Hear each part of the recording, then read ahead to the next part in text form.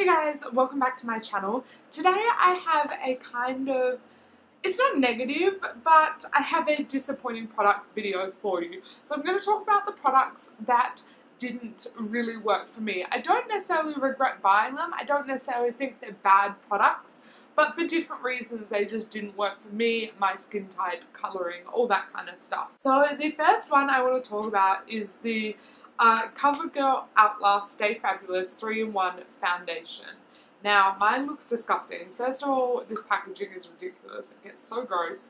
Um, but I am in the colour 810 Classic Ivory. This is the lightest shade, and it's still too dark for me in winter.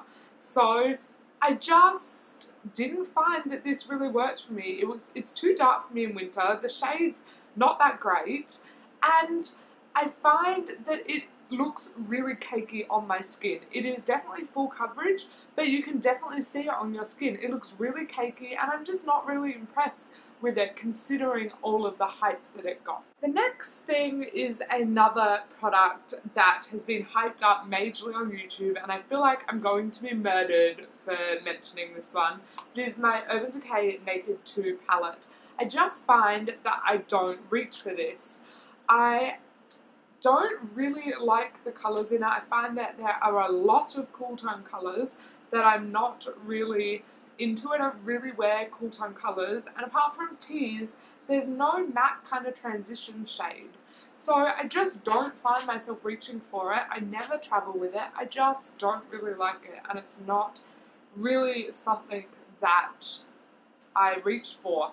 I don't regret purchasing it. I do like having it in my collection I just found it a bit disappointing. Next up is this Essence Eyeshadow Quattro. This is in the colour Denim 4.0. It has these four really nice shades. Everyone raves about Essence products and they are nice and they are really nicely pigmented but I just don't find myself reaching for this quad. Like, um, they're so pigmented that they're a bit powdery and I just don't find myself reaching for it. One, probably because it's blue and that's my own fault for buying it in blue.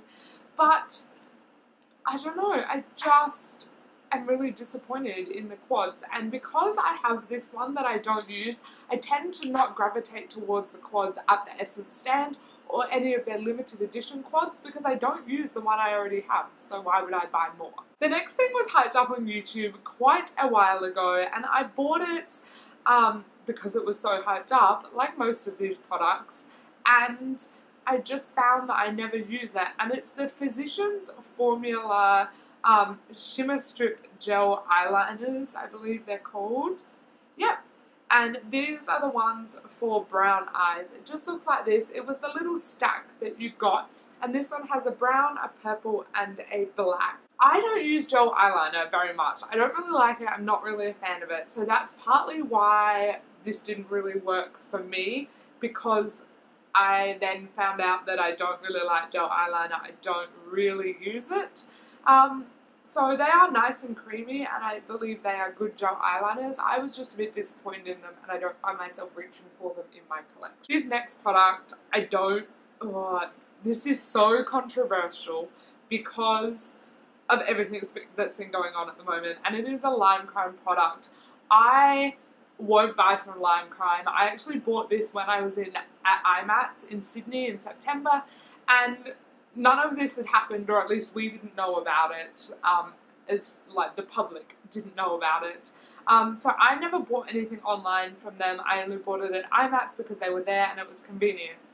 And I bought the shade Babette, Babette, and it's I thought it was just a really pretty nudie coral shade. I was like, this is super nice. I would definitely wear that. It's so my color. I'd always heard the Lime Crime lipsticks hyped up so much this formula is so thick and it settles into all of the lines in my lips. I never reach for this because while it's a pretty colour, it's so thick, it's so sticky, and it's not flattering on my lips. I would reach for my CoverGirl or my BYS or my Essence lipsticks way before I reach for this one. I still have it because I bought it and you can see it's pretty much new.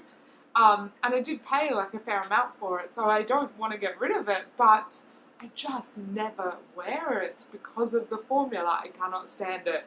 So don't know what's up with that. And I I heard that they reformulated their lipsticks and that many people didn't like them after they reformulated them. But I was just really unimpressed with all of the stuff I'd heard about them. So we're going to hurry up and finish this video because I am losing my lighting. Um, the next product is something that is once again going to be a little bit controversial. Controversial? Con controversial? and that is MAC blushes. I have two here. This one is Peachy Keen and this one is Ambering Rose. These are both sheer tone shimmer blushes and I love shimmer blush. It's not that I'm against um, shimmery blushes. I wear this one, which is Peachy Keen, a lot more than Ambering Rose. And they're not bad products, don't get me wrong. I was just disappointed because people hype them up so much everyone talks about how amazing MAC blushes are, that they're a must, that you need to have them. You know when the YouTube community was all like, oh my god, you have to have the biggest MAC collection possible. Well, I bought these in that craze and I just find that I reach for my Australis or my BYS or any of my other blushes just as much as I do these ones. So, and last but not least, sticking on the MAC trend is MAC eyeshadows. I have a whole palette here. I did put this together myself. Um, some of them I bought in pan form and some of them I depotted. If you guys would like to see a video on what's in this palette, let me know in the comments below because I can do a video and swatches and all of that. But I just find that I don't reach for these. I'd rather reach for a whole palette like my Urban Decay Naked palette that we all know I love it has similar shades, just a few less of these kind of like pinky shades. Um, and I just find that these aren't, some of them, the pigmentation is not that great. I find Makeup Geek shadows blend better than these. I find Urban Decay shadows blend better than these. I find the shadows in my Lorac, I just stabbed myself in the face with that. Um, I find the shadows in my Lorac Mega Pro blend better than these. So I just find that I don't reach for these. First of all, maybe the shades that I chose, and that's my own fault, I chose these shades. But I just find that they're not worth the... Why does that one keep falling out? Um, I just find that they're not worth the hype.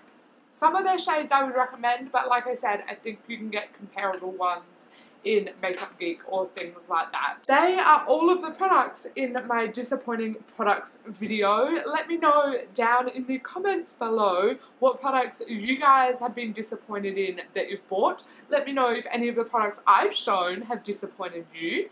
And subscribe somewhere around the screen. I would love to have you on board. And until then, I will see you guys in my next video. Bye!